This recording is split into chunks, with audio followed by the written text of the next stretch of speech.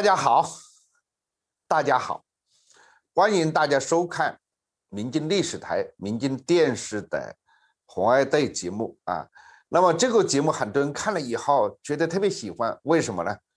啊，主要是彭查理先生谈得好以外，更重要的是也赞扬我一下，说你这个节目啊，一看你就没做准备啊。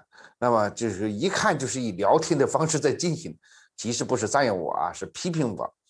但是呢。确确实实啊，我和啊彭萨理先生在聊天中间，哎，我发现这个可以谈一谈，另外一个也可以谈一谈。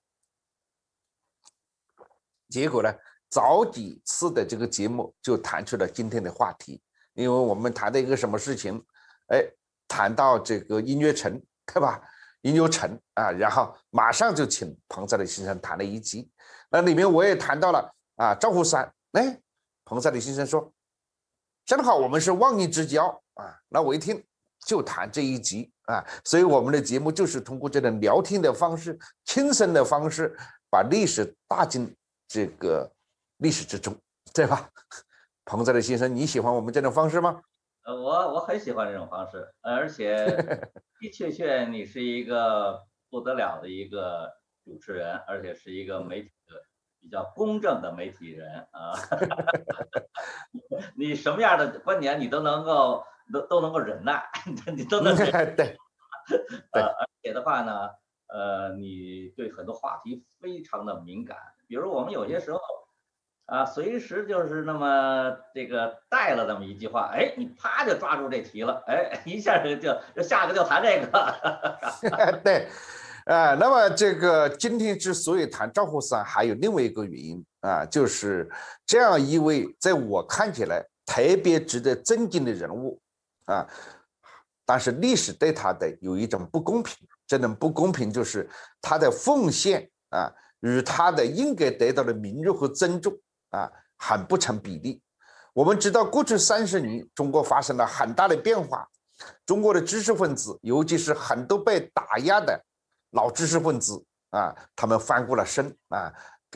社会上也好，学术界也好，甚至政府也好，给了他们很高的评价啊，很多的这个待遇。当然，有一批人是受到了打压，但是主流的一批知识分子啊，应该来讲，过去几十年，从物质的角度也好，从名誉的角度来讲啊，都是得益良多，得益良多啊。但是赵虎山先生呢，啊，他一方面啊。他这种物质来讲啊，他是一个流亡者啊，流亡者我们都知道生活是比较清苦的。你可能一时有很高的名声，但是随着时间的推移，你就慢慢要靠自己，像一个普通人一样的在西方生活。这是西方的一个特征，没有一个人一个政府可以把一个人可以永远的吹捧一辈子。不要说别人了，就是总统倒是不可能的。总统下去了以后，他的名声慢慢就会啊淡下去。啊，另外就是赵虎山先生本人的性格啊，或者是他他的这个呃人文的情怀，使他也是不是一个喜欢站在历史前台来进行表演，或者是啊这个领导大家做一个什么事情的一个人物啊，所以他的名声很多人就忘记了他，甚至今天刚刚我们在寻找赵虎山先生的照片，我就请我们的同事来寻找，哎，我们的同事是名牌大学毕业啊。对吧？中国名牌大学毕业，然后在美国也受了很好的专业训练。他是问我赵虎山是谁呀？啊，对不对？彭在的先生啊，对，我的一个好朋友，那个也是也是个教授。呃，其实他呢跟赵虎山呢还认识，呃，也也也，但是呢，呃，好多事情他都那个对不上号。今天正好讲的时候呢。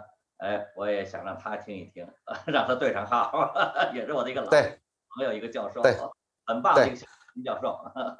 对，简单的背景就是一九八九年啊，六四事情之后啊，中国的唯一的一个代表出现了在巴黎举行的啊联合国教科文组织会议啊，那个时候西方的媒体啊，铺天盖地啊，都是啊。一九八九年的那一场学生运动，那一场市民运动，然后以仇杀啊这种打镇压的方式啊，这个增加了这场学生运动，所以大家都把眼光盯住啊，中国的代表到底发生了什么事情啊，到底发生了什么事情？结果是赵虎山先生潜在了这一场镇压，然后陈子就开始了他的流亡啊。那么他就后来到了这个彭扎的先生所在的州，对吧？俄克拉荷马州啊，美国的这个一个著名的州啊。那么这个州里面有很多历史的传奇，以后有机会我们再来讲啊。不过当时哈，正好在这个地方的彭萨的先生啊，你们就成为了这个忘年之交，是不是就发生在这个地方？对，就是在这儿，我们我们认识了。我有两个忘年之交，一个呢就是这个赵虎三啊，嗯，我叫他这个赵，等一下稍微等一下，我这这这这这电脑是一个就是赵虎三叔叔。还有一个呢，就是这个李志绥，毛主席的毛泽东的私人医生，我们讲的叫私人医生啊。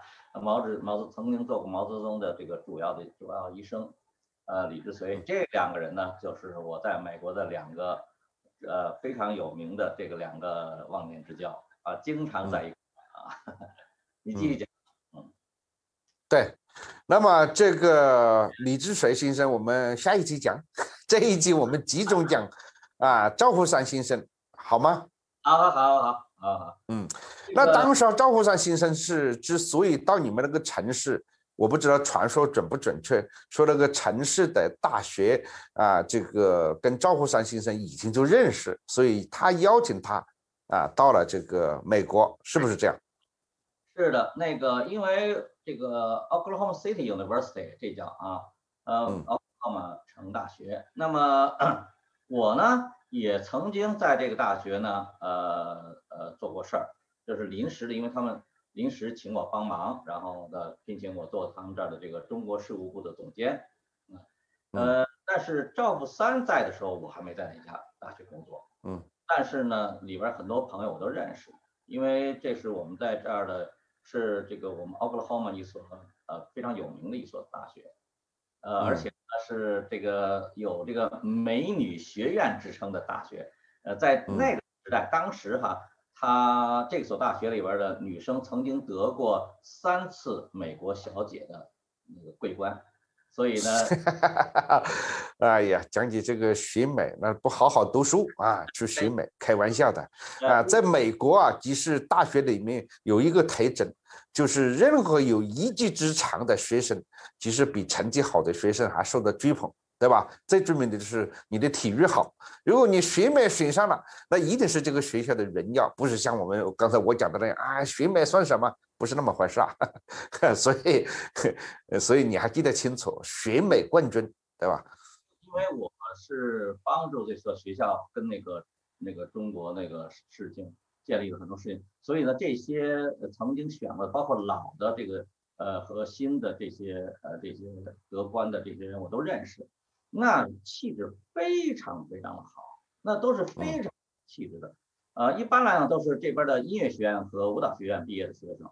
啊，或者是在，但不是比嗯，当时那也就是说，你的意思是说，艺术是比较好的，是吧？这个学校，那不是光那个才艺，人人品特别好，那那姿那个整个的那个人的那个人的行为、姿态、思想，呃，这些方面都非常了不得啊，嗯，人非常非常的好，非常的热情，非常亲善。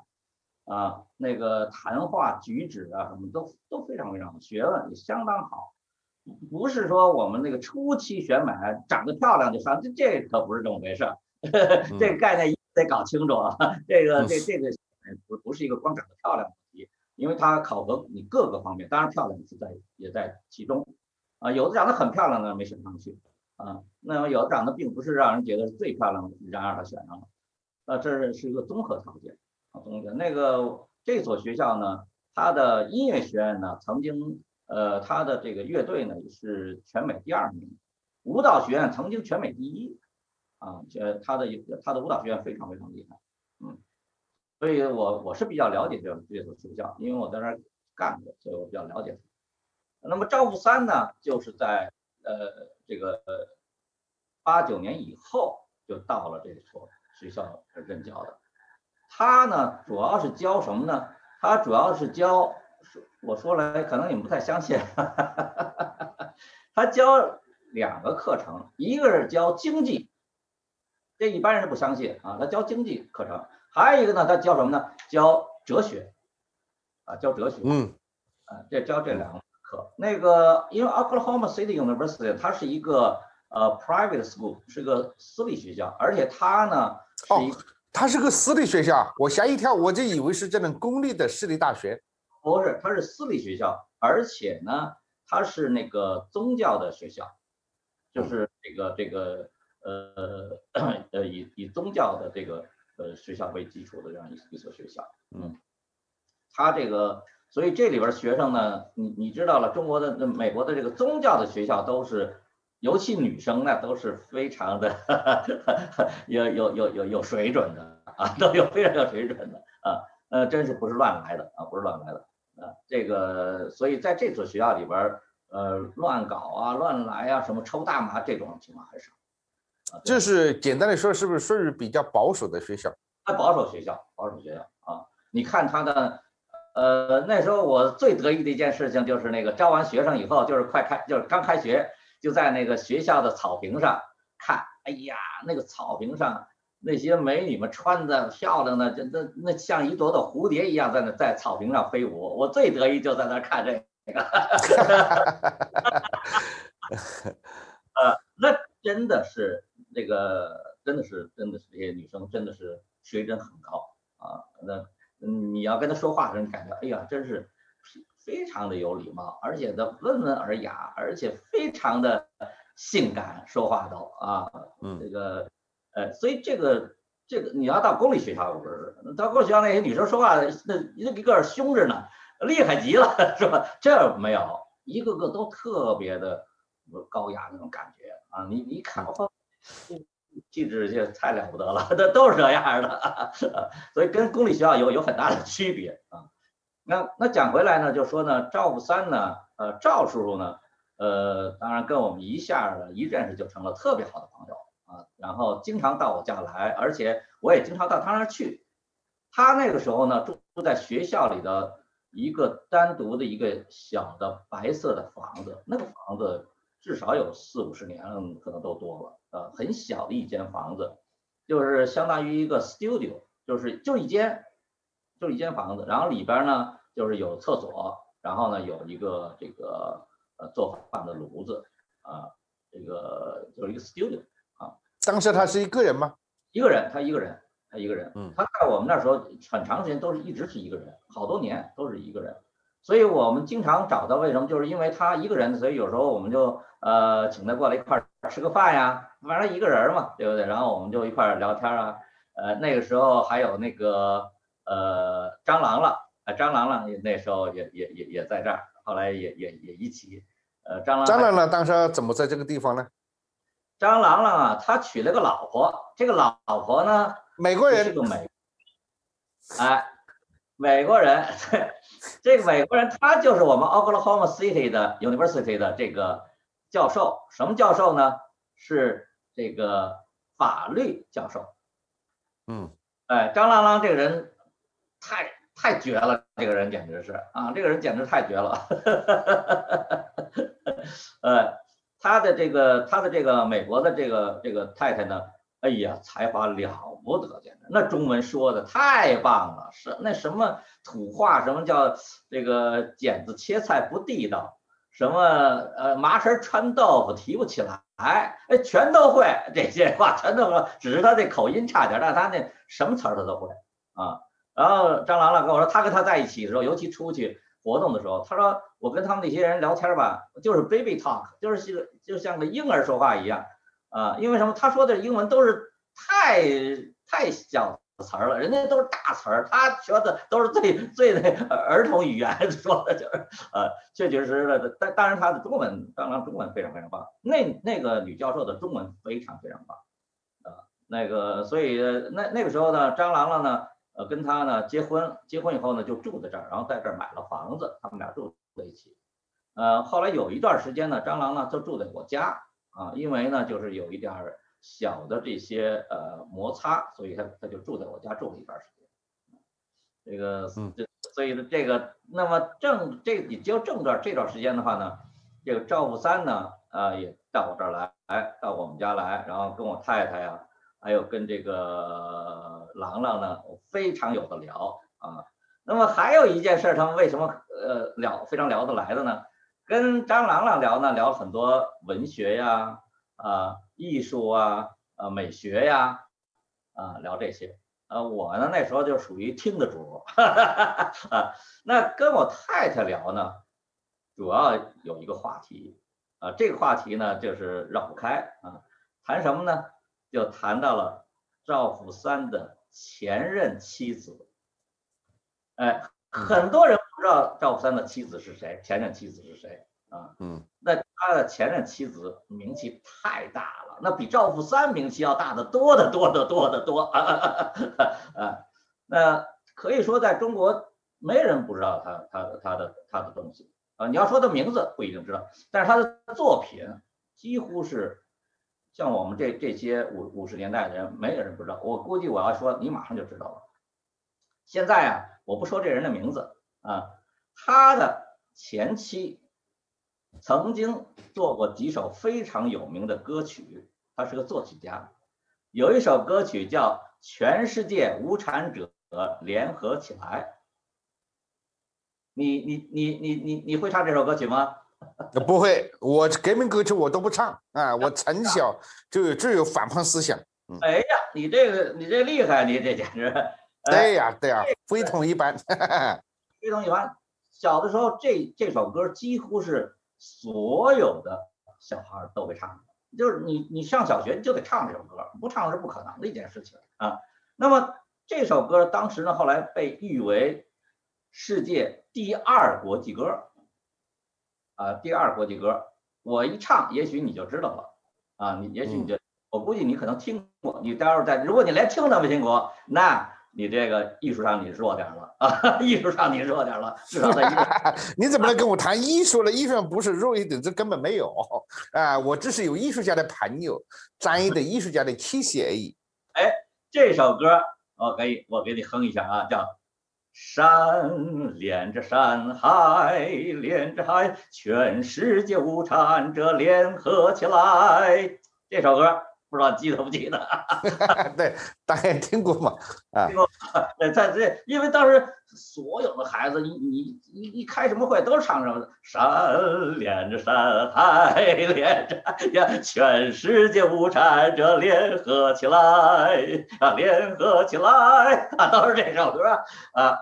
但是这首歌太有意思了，为什么呢？那小的时候没人不唱，都唱。但是出现了一个重大的问题。这首歌写的当时啊，真是我们小时候觉得那无产者，那全世界都要联合。你像国际歌嘛，那个呃，这是第二国际歌，第一首国际歌也是讲这无产者的。第二，这是第二个第二首讲无产者的歌。可是几十年过去，那时候我们才小学七八岁吧，哈，现在都六十多岁了，这一大把年纪了，突然发现了一个问题，什么问题呢？这全世界无产者呀，没联合起来。反而这全世界的资产者全联合起来了，你看这全世界的资产者联合叫世界五百强纷纷往中国跑，哎，对，这这是一个非常非常奇怪的现象。我哪天我觉得，呃，建议推荐你那个那个发起这么一个讨论啊，全是为什么全世界无产者没联合起来，而全世界资产者都联合起来了？呃，这是怎么回事？你应该发起这么一个讨论。呃，嗯，还有一，呃，这个呢，就是他的一个著名的一首歌的作品。还有一个歌，我估计你听的更多了。这首歌因为后来演唱成，都包括到现在，都还到处传唱。这首歌叫什么？叫听妈妈讲那过去的事情。啊，我知道，那是儿童儿童作品，儿童文学作品。儿童文学作品，这两首歌都得大奖的。那个全世界无产者联合起来是得国际大奖的。这个这个这个听妈妈讲的过去的事情呢，也是儿一个儿童全世界世界一个儿童的一个一个大赛的得得大得大奖。这两个作品都是。我我们我们其实老百姓，呃，老百姓现在记起来，他最有名的是乌苏里乌苏里乌苏里全歌。哎，乌苏里。啊啊，那是算他比现在讲老实话，在民间流传的更广。呃，但是这很多人不太了解这个他的这个作乌苏里川。待会儿我给你讲讲乌苏里川。先给你讲这个妈妈讲的事情。听妈妈讲的过去的事情啊，这首歌是一首他的完整的和那个呃全世界无产者两者是他完整的作品。什么叫完整？这个听妈妈讲那个呃那过去的事情，我对这个首歌印象太深了，因为我老唱。为什么你知道吧？当年当兵的时候。十四岁啊，晚上夜里头啊，一个人站岗，哎呀，那时候是想妈妈了，哦，所以常常的一个人在那唱这首歌啊，就落泪了。哎，现在我想着很感人，非常感人。嗯嗯，哎，所以我对。所以我对这个人的印象太深了。那我知道他比知不知道赵普三早得多。我那么小就知道他了，那时候可根本不知道赵普三是个何人，根本就不知道。对，但是知道他这个名字的人也非常少啊，因为，呃，因为因为歌曲歌曲有时候无论是填词还是作曲，除了那几个最顶尖的人，一般来讲大家都不知道啊。整天唱歌，但是不知道是谁写的。张贴哼这个曲，但是不知道这个曲是谁做的啊？这个是音乐家有时候很头疼的事情啊。只有行内人士都是知道啊。头疼对，哎啊，有这个听妈妈讲的过去的事情呢，几乎年轻人就是我们这代年轻人都唱，都会唱啊。对啊，对我讲的就是不知道作者是吧？叫一般人就不知道作者对。然后他这首歌这个月亮。在白莲花般的云朵里穿行，晚风吹来一阵阵快乐的歌声。我们坐在高高的谷堆旁边。听妈妈讲那过去的事情，我们坐在高高的谷堆旁边，听妈妈讲那过去的事情。哎，这首歌太有名气了，我每次唱都会落泪的这首歌。所以呢，就是说呢，这两首歌，他这个和《全日梦》是他的完全的他作品。但是你刚才说的呢，《乌苏里船歌》啊，不是他完整的作品。什么叫哦？不是啊。哎，对，他的作词和作曲不是他。啊，这点呢得给你们解释一下哈。他是编曲，他编曲很多很多。什么叫编？就是有有很多的那个写歌的人呢。他们不是真正的我们我们所定义的那种的这个作曲家，知道吧？是我们定义的作曲家是什么呢？就是你得有相当的学问。所谓的相当学问，就是你对这个音乐的旋律的这个，比如说这个呃呃怎么这个呃，比如做呃弄出一个乐队来，是吧？那么什么乐这个乐队里什么什么？呃，演奏嗯嗯嗯哪哪些音符？比如说有钢琴部分，有提琴部分，是吧？有笛子部分，然后有有这个和的部分，那这个部分那个部分，这音乐是比较复杂的啊。比如像写这种交响乐的这种呢，就能够写交响乐的这种呢，在我们的眼里才算所谓的真正的啊有水准的作曲家。那么他就属于这种的。那么还有一种作曲家什么呢？就是我就写一个歌的主旋律。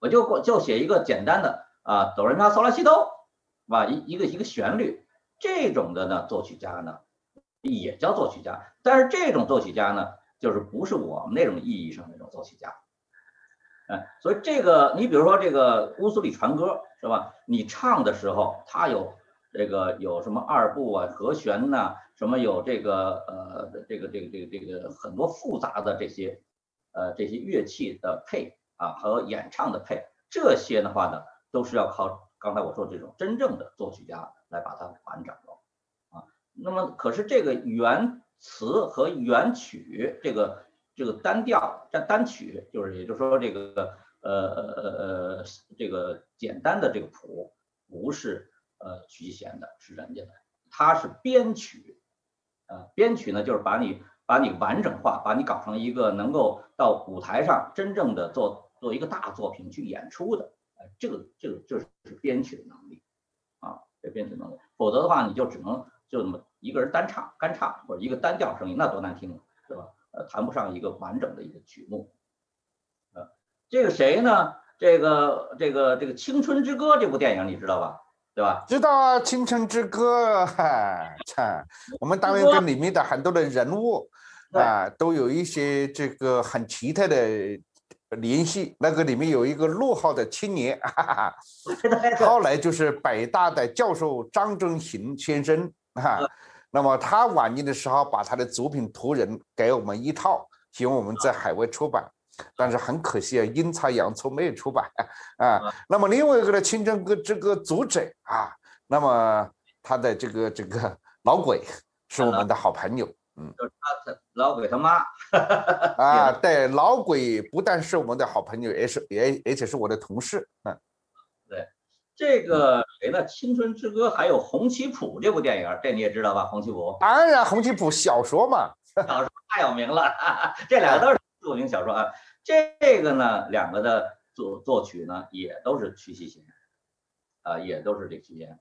这个这个人呢，他呢，这个《青春之歌》，你比如说他他这他他这个作曲是怎么？你比如说这一段是这个林道静是吧？林道静当女主角了。她描写她的内心世界的这种时候，哎，这时候音乐就起来了，哎，这个音乐就是他写的，哎，就是每一个人物，主要人物，你的每个主要人物有一个主要的旋律啊，来来描写他的啊，这个反叛人物也有反叛人的主主要旋律，那么正面人物有正面人物的旋律，哎，这些都都是这个呃谁呀？这个曲贤写的。那么曲希贤，哎，你把名字讲出来了，你把名字讲出来了。你刚才本来说啊，不知道名字是谁，我相信呢，我们的观众里面可能至少三分之一不知道他的名字。啊，对，刚才我们讲这么多作品，大家都很熟悉，很熟悉。那么这个作者就是瞿希贤啊。对，请我们的编导看能不能找到一张照片啊，因为瞿希贤我们之前没有预想到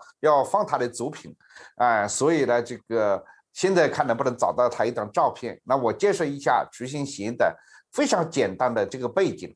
如果我没有记错的话啊，他跟这个赵虎山有关联啊，是跟上海一个大学有关联，叫上海将升将士大学，是不是？圣约翰大学，圣约翰大学啊，圣约翰大学，圣约翰大学，其中有一位学生还是有一位什么人物，就是赵富三的父亲。哎，对了，赵富三的父亲是孔祥熙的同学。对对对对对对对。啊，所以赵富三的背景一直被认为可疑，因为他是个进步青年，弄得不好是打进了敌人的内部。啊，那么呢，他和徐星行的故事。啊，这个艺术界也有也有传说，说啊是党组织把他们两个人啊组织分配在一起的啊，这个故事你知道吧？这不没没有这么回事，这不是这么，这这不是这么，这不是这么回事 啊！因为这个赵三跟我们那个赵赵叔叔跟我说的是非常非常清楚的啊。OK，那好，我今天就是要引诱你讲出啊，赵虎山先生怎么讲啊，跟他跟他夫人的这种关系，可以吗？对，好，我我就给给你讲这个，这个徐熙贤呢。他们在解放前的时候呢，他跟赵普三呀两个人都在上海圣约翰大学读书，这是一所教会学校啊。这个徐希贤呢，这个本科呢，他学的是什么？他学的是英文专业啊，学的是英文专业。这个赵富三呢，他学的是神学啊，哲学和神学啊。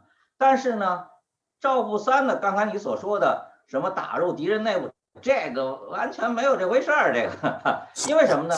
因为这 这太到了，因为他爸爸是左派，嗯，他爸爸是亲共的，就就差入入共产党了。但是他参加共产党的很多很多的活动啊。那他爸爸是左派，那他是亲共，他爸爸呢也是留美的，就是这个赵普三的爸爸是留美的，那那那水平很高的的留美。所以我刚才说是跟孔祥熙是同学嘛，留美同学嘛。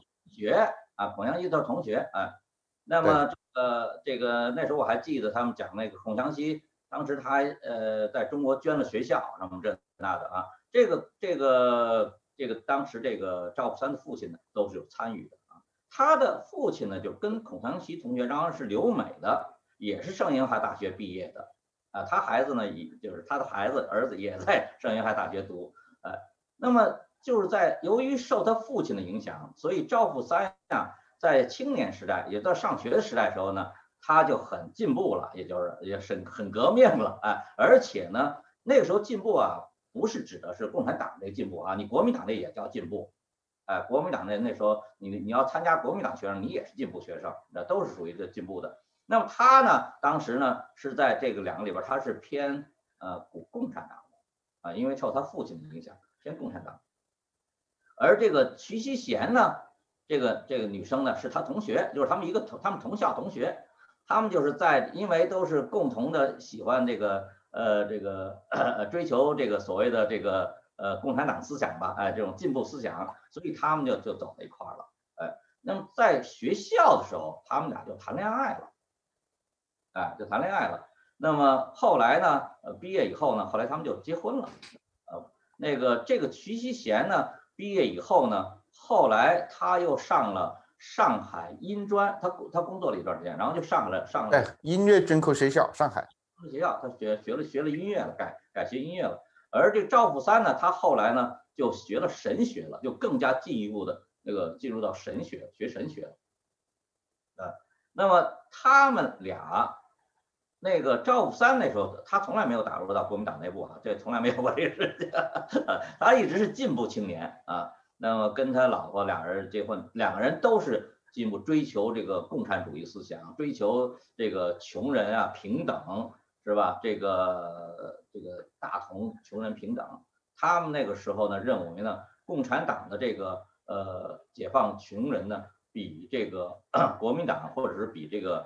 呃，这个孙中山更进一步啊，这个是这个呃赵三叔叔亲口跟我说的，就是说当时他们也也那个追求这个，因为当时没有人不追求这个呃这个谁呀，这个三民主义啊，就是这个呃呃孙中山的东西是吧？那么可是呢，他们当他们接触了共产党以后，他们认为呢，共产党更彻底啊，而这个。呃，三民主义的没有那么彻底，啊，呃，就他就是辅助功能，而且是后来提出来的，不是这个呃孙中山早期的东西，他是后来提出来的，是因为政治政治原因，那需要这个，所以才才提出来了这个三大政策。那在他早期的时候，他那理论没有这三大政策的理论，啊，所以他们呢，当时呢就认为呢，共产党呢相对来讲呢，对老百姓呢，对穷人，对广大人民呢，群众呢更好。啊，所以他，所以他们就追求了这个，啊，他们俩当时，他们这两个人都是非常有爱心的人，就是无论是徐一贤呀，还是这个赵福三呀，都是很有非常非常有爱心的人。后来呢，那个以后当然就都参加革命了嘛，俩人都参加革命了，呃，解放以后呢，俩人都不同的工作。那么赵福三呢，呃，因为他已经是这个共产党了，啊，他们都已经是呃呃入党了，然后就是共产党里边，因为懂宗教的人不多，所以他呢。就一直在这个开始是比较基层的啊，就做那些什么青年呃会啊，什么就是青年会，就是宗教的，也当时宗教的那些组织哈，呃里边的做干事啊，然后做基础的，后来一点一点升，呃一点点升起来了。后来他就厉害了，以后后来他就是到那个宗教研究所工作，调到宗教研究所工作工作去了。嗯，那么以后呢，他就成为了中国的三大著名的宗教的这个。领导人啊，这个这也是就共产党，我指的是共产党的哈，三大领导，一个呢就是我们大家都知道的，第这大家人人都知道，叫赵富三，啊不是什么赵富三，叫赵朴初啊，他成了这个宗教界三赵啊，三三教赵，第一个赵就是赵朴初，哎，赵朴初呢，这你知道，赵朴初你知道吧？那当然知道。啊，赵朴初呢，那书法是非常棒的。赵朴初的那学问，那我们都人人都知道啊。赵赵朴初，那么第二赵，这第一赵叫赵朴初，第二赵呢叫赵子辰，子是紫颜色的紫，辰是那个一个宝盖里一个辰字啊，赵子辰啊，这个第二赵啊。那么第三赵呢就是赵福三，那么后边两诏呢，以前人一般人不知道啊，赵子辰和赵普三这两人一般人不知道啊。那么后来赵普三人们知道，因为赵普三后来呃名气不大了，呃这个这个很多人知道他了。但是早期的时候呢，没人知道他们啊，嗯，但是从学问上来讲，当时这三赵啊，就是以赵朴初为为主。一说赵朴初，那人人都知道，没人不知道的就这个赵普三，也就是当时的宗教界三赵之一，那也就是在中国那这这个领域已经是已经是最顶级人物了，没没没没没没得可比了啊。那么最有意思的是什么呢？这也是这赵师傅跟我说的，因为我们在一块儿就是就什么都聊嘛哈。呃，后来他们俩当然在文革时候就离婚了。那么为什么呢？我们就讲为什么呢？他呢，这个赵普三呀，从他讲的这个他的这个一些事情，我慢慢就分析，就什么呢？他是比较早期，尤其是在这个三反五反呀，呃，那反右反右运动之后啊，他这个时候的他就开始有思想，因为到底啊，他是呃搞宗教、搞哲学的，他是搞宗教学和搞哲学和搞历史学的啊，所以他呢，对对东西。呃，理解的就比较深刻一些，所以他这个时候呢，对共产党啊就有些看法了，觉得好像有问题。就我追求这个党，他他这好像有点问题啊，因为他的 年轻时代，他的 最大的目标就是爱爱人民，是吧？那么他心目当中的共产党呢，呃，和他这个所追求的这个呢，呃，理想和信仰呢，那就是啊，这个人民怎么样的幸福。啊，怎么样的平等啊？那个呃做做当家主做主人啊，这是他这个 心目当中的这个呃所追求的这个呃一个梦想吧啊。可是后来他发现呢，哎呦，又没饭吃，又又穷又苦啊，而且这个这个人人都挨整，是吧？那是怎么回事儿？他的哎，这时候他已经开始。有反思了，但是呢，这个时候 的瞿希贤呢，就是他的夫人呢，当时还还没有反思，尤其是在大跃进这个时代，他呢对大跃进已经有看法了，但是他太太呢，瞿希贤呢，还是非常的热情的支支持这个大跃进啊，支持这个，而且写了很多那个就是歌颂大跃进的那个呃和这个这个这个宣传大跃进的歌曲。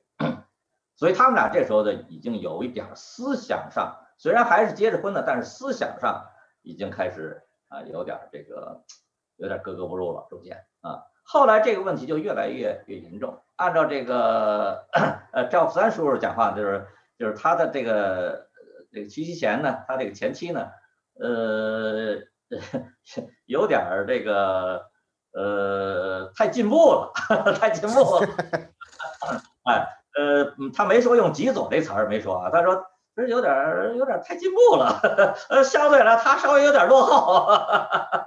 呃呃，这其实这意思就是有点有点极左啊，有点极左啊。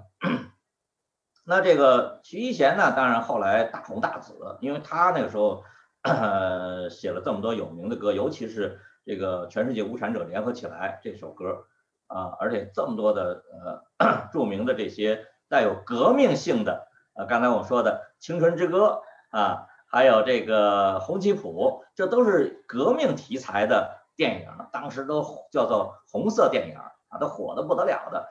你想他太太是这么样一个人，那当时已经是红的发紫了，简直就是啊。所以两个人的思想呢开始有点背离，嗯，但是呢还那个时候还没有到这个呃最后离婚的程度。当然最后离婚呢有诸多的原因。呃，一一方面是思想上后来呃不是很，另外一方面后来也因为他太太呢后来进了监狱了啊，后来文革的时候那个徐贤就被关到监狱里了，而这个谁呢？这个赵普三他去下放到武器干校去了啊，当时有多种考虑啊，一方面呢 孩子的问题，因为你进监狱了，就对孩子影响很坏啊，所以的话呢，这个离婚呢也是对孩子的一种一种保护。嗯，再有第二个呢，呃，可是如果这样的话呢，如果是名义上离婚呢，你这个文革结束以后，徐锡贤从监狱里出来，他们可以复婚，这个时候呢，这个赵普三呢，呃，选择了不复婚，啊，这个的时候就是赵普三已经有想法了。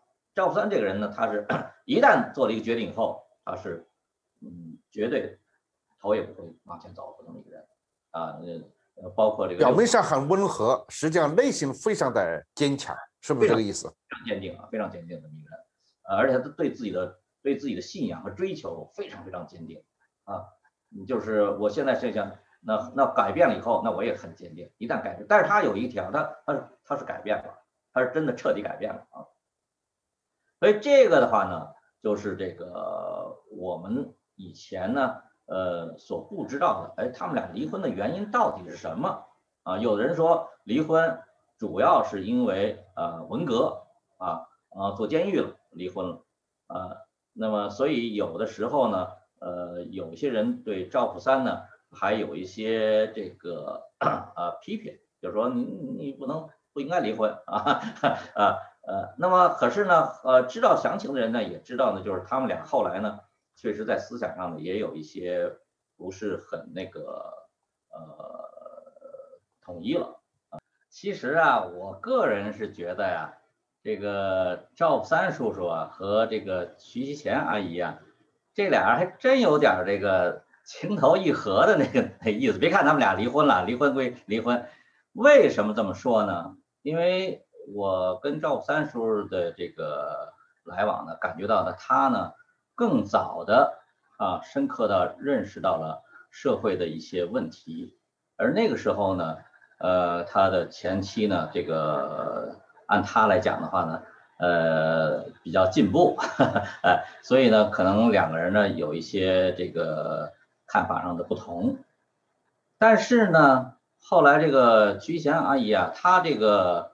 呃，文革关了她好几年之后放出来以后呢，呃，虽然他们俩没有这个再复婚啊，就彻底就分手了，但是呢，到了晚年的时候啊，这个瞿希贤阿姨也有反省。刚才我们说的，就是说这个是这个赵三叔叔他有反省啊反思，其实这个瞿瞿希贤啊也有反省和反思。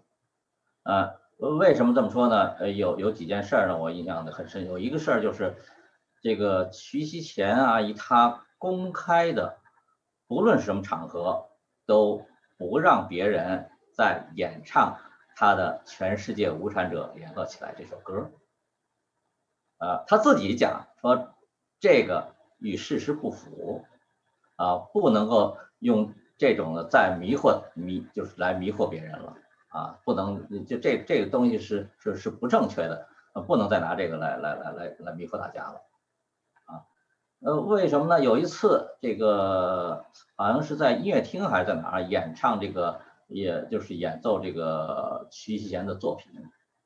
那在这个徐锡贤作品呢演奏的过程当中呢，呃，他提前呢就跟指挥啊阎良坤，阎良坤就是他是是指挥乐队指挥。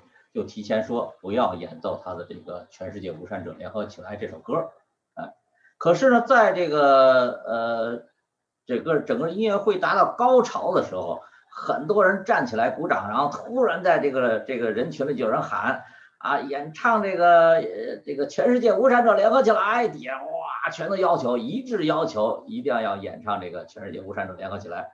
当时啊，这个指挥阎良坤就就傻愣了。这这怎么办啊？这个这情况，大家要求的啊，所有人都要求这个怎么办？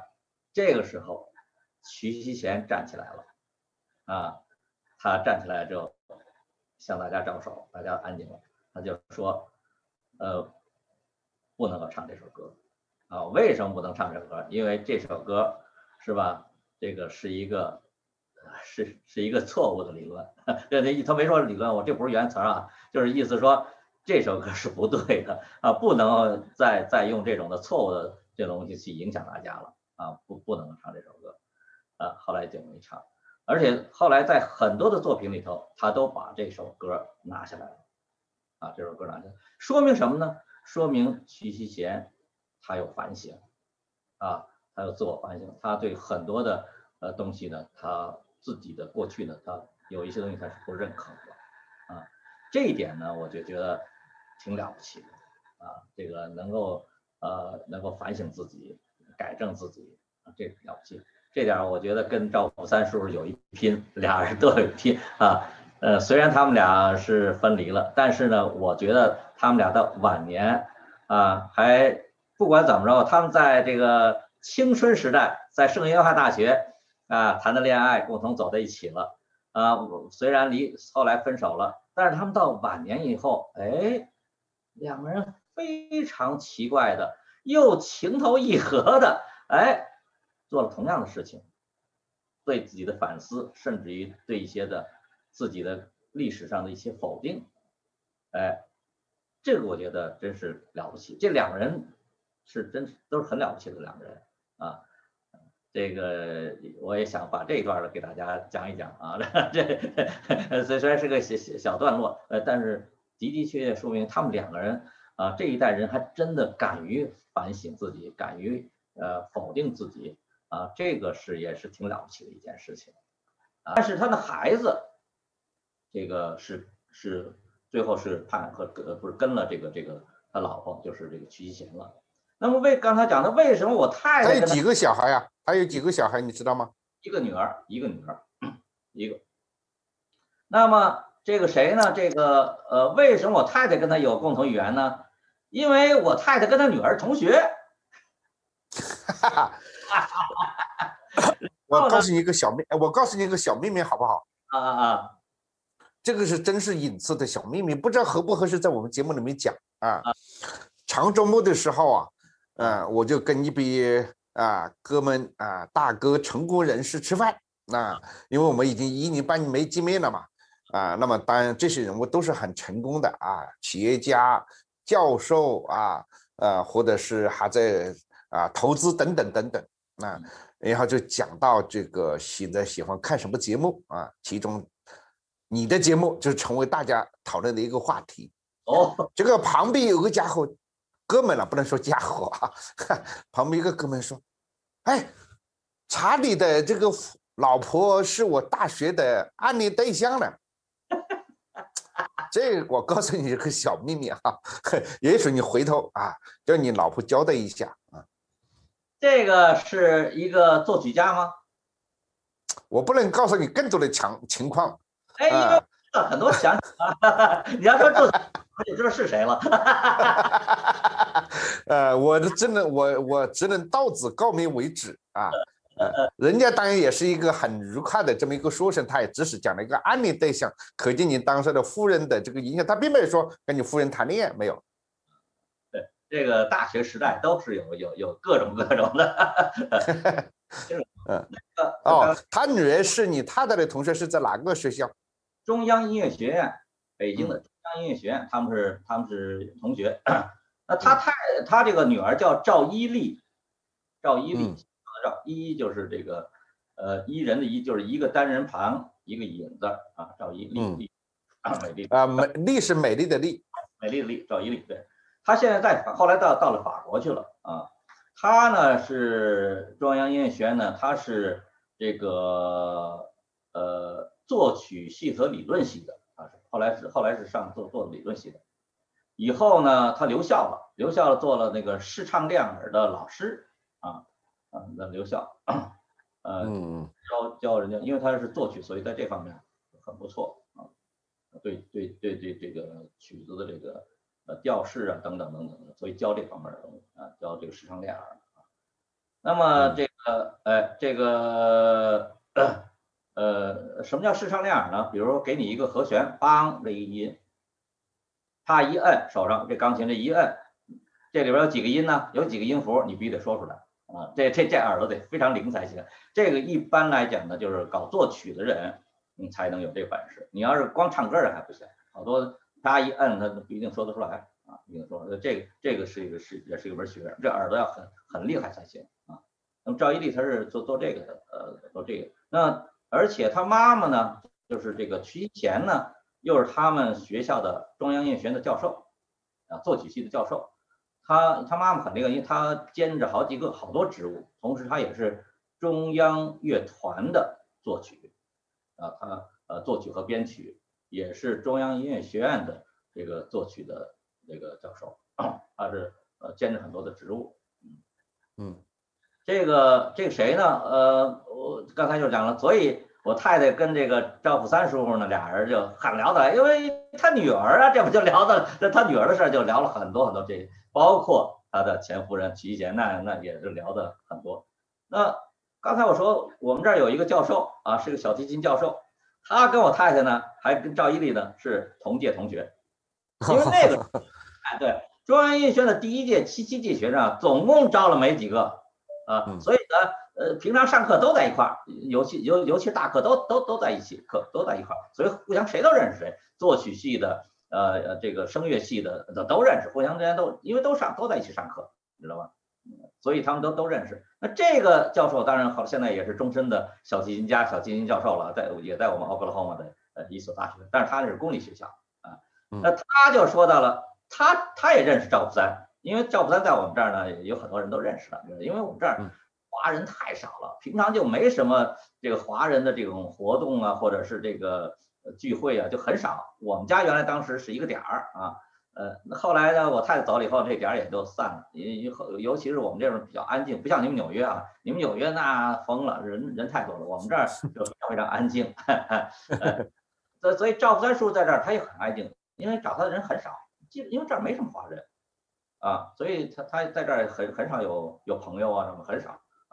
那你觉得他在这种法国过来以后，他的经济收入当然没有问题，呃，工作也没有问题，可以发挥他的专业。那他有没有讲过他当时在巴黎的时候那个决定付出的代价，或者是他当时为什么做出那么一个决定？对这个我们聊到了，这个他呢最主要的呢，我觉得他有些地方很像我岳父，很像我岳父。这个人呢，他一旦他。最主要、最主要就是对屠杀这个事情，这开坦克、开机枪杀学生，他实在是接受不了了。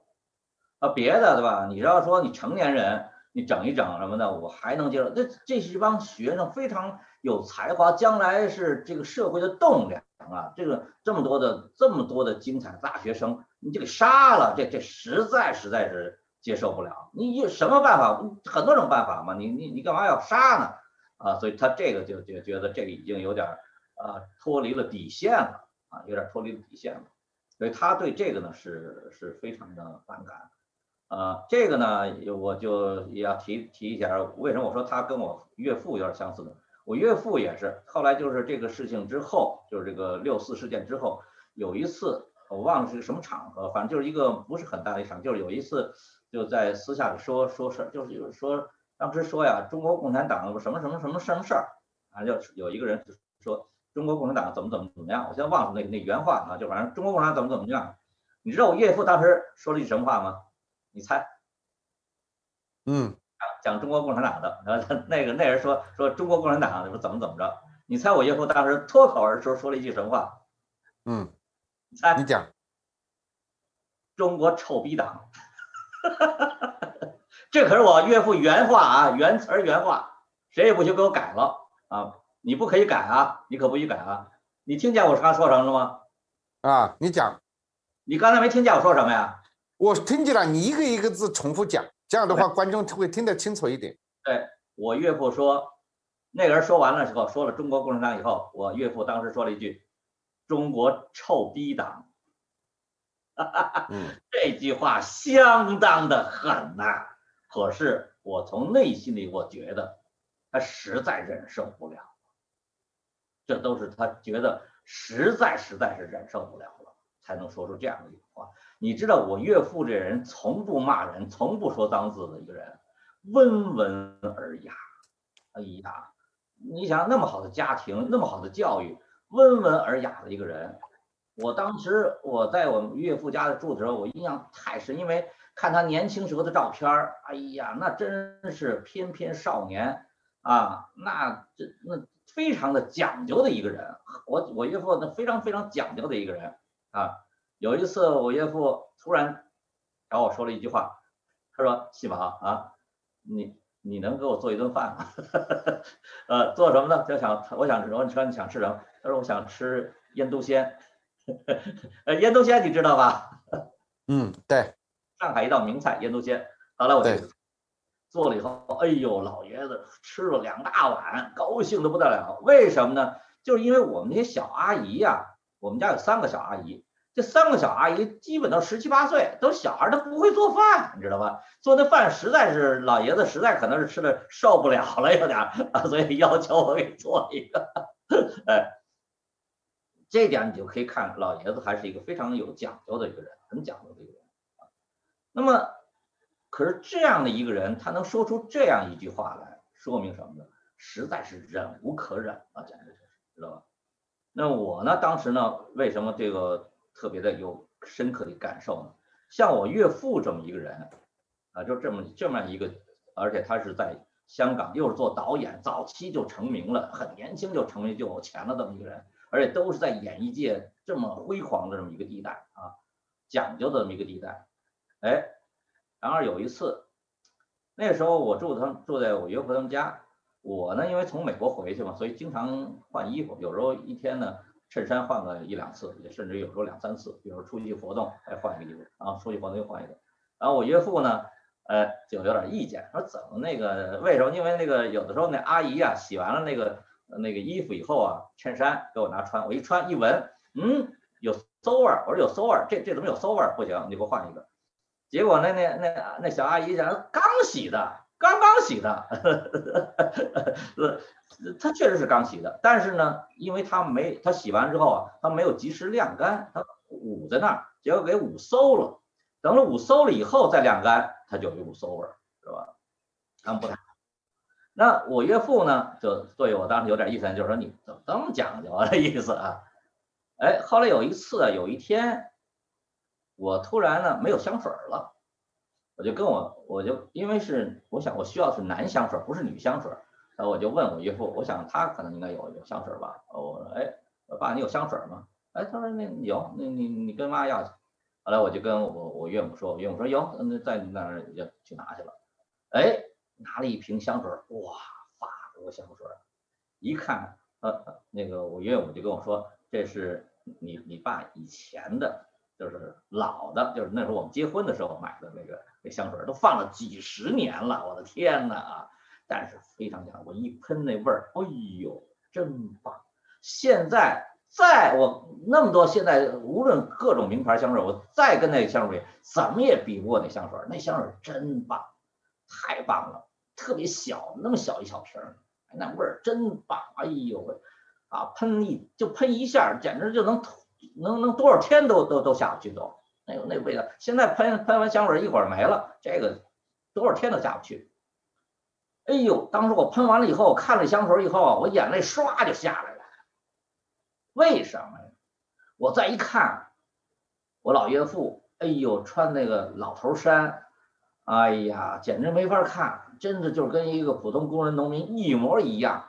这么一个大师级的，这么一个大文豪。大导演、大戏剧家，知道吧？在所谓的资本主义世界生活了那么多年，啊，哎呦，现在生活这样，简直是，我真是眼泪我都下来了，好家伙的，所以我特有感触，我特别有感触？这个这真是把这个人都都都都折折折磨成什么样了，哎，但是他们已经习惯了，他们已经不在。哦，说过得还挺好，呃，那么我为什么要讲这段呢？就是讲这些人都已经习惯了。赵富三，他终于做出了一个决定，就是我再苦，我也不跟你们玩了。哎，我再苦，再怎么样啊，再孤独，我也不跟你们玩了，我走了，拜拜了，您呢，塞欧那拉了。哎，坚定的迈出了这一步。这一步对一个人来讲太难了，义无反顾。那当时这个我在我们家的时候，赵福三叔说这话的时候，是吧？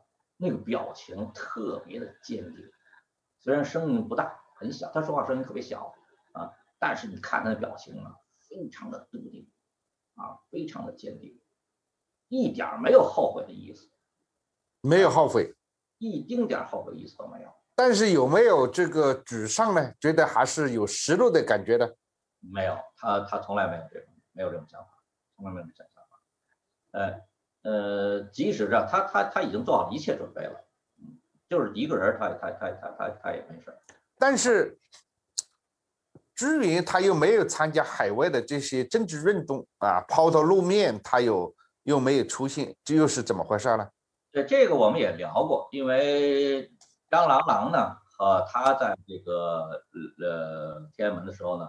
他是被通缉的，所谓被通缉，就是当时很多的学生都住，因为他们家就在那个，就在这个这个西河沿，就在天安门那旁边啊，所以呢，这个很多人都到他那儿去，然后打听这事儿，打听那事儿，他那儿成了一个成了一个信息中心，包包包括当年那个包伯一啊，包伯一阿姨你知道吧？就是那个，哎，我知道这个路德的夫人嘛，路德的夫人，哎。我们叫他鲍勃一阿姨啊，这个洛德我们叫洛德叔叔啊，这这都是这都有点这个都叫叔叔阿姨的这种关系啊，呃，那关系非常非常好，呃，这个鲍勃一阿姨和洛德叔叔还曾经还帮过我，帮我很大的忙啊，在美国。那么这个这个谁呢？这个刚才我说的这个呃，当时呢，呃呃，有一个据点儿。大家伙有一个有个信息交流中心的一个据点，而且待都在他那儿待，就是就是在这个张郎朗家。张郎家当时他有个小院儿，所以大家都可以在那儿喝茶喝水聊天，各种信息什么都在那儿，去各种人物都都跑到那儿去啊。那么，所以他那成了一个中心了。啊，这个谁呢？这个呃，郎朗在这儿的话呢，我们也聊，当然肯定是也会聊这些东西。那么他们俩的不同之处什么呢？郎朗呢，还是属于愤青儿，就是属于这个我我参与积极参与的这种的啊。而这个赵叔叔呢，赵普三叔叔呢，他是已经是很深刻的有更深一层的。他就是说呢，我有这种的深刻的认识，但是我已经不是愤青了，我已经不去参与这些事情了。为什么？因为他自己讲话了，你只要是参与。不管是谁，不论谁，不论什么样一场运动，你只要参与，你就会迷茫。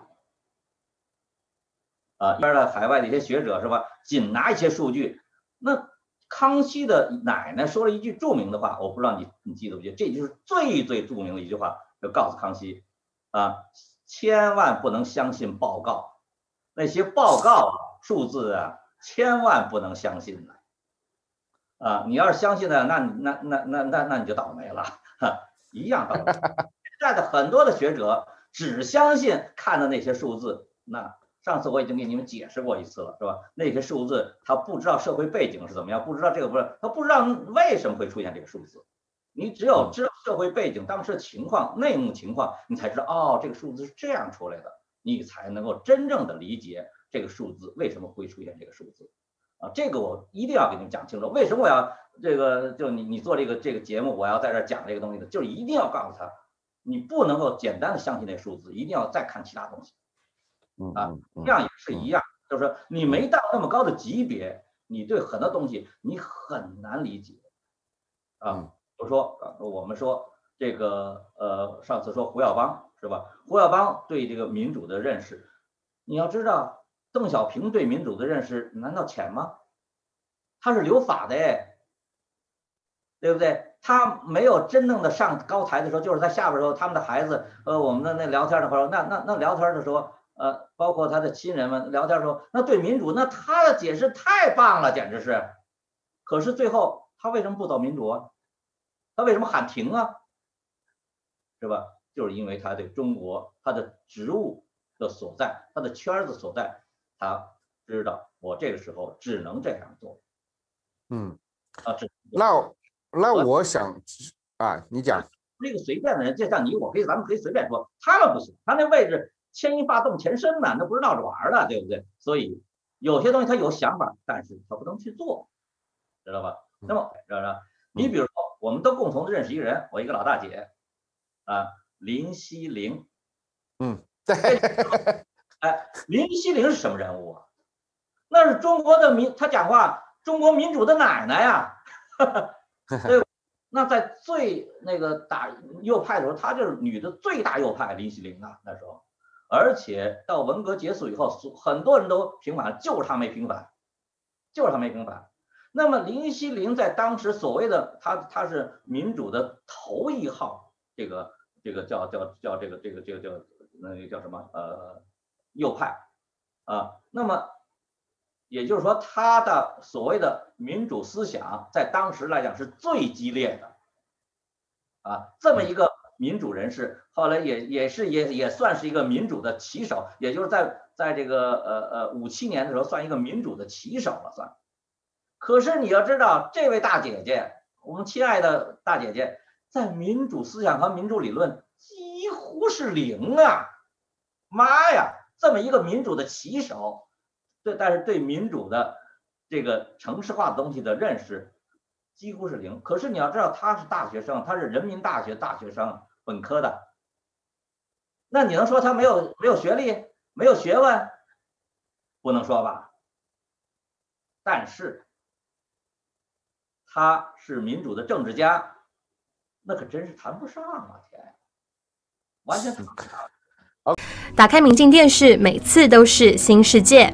节目中言论为个人见解，不代表明镜的观点或立场。YouTube 频道名：明镜火拍，苹果博客名：明镜火拍音频版，网站：triple w minjingnews.com，推特：at minjingnews，脸书：facebook.com。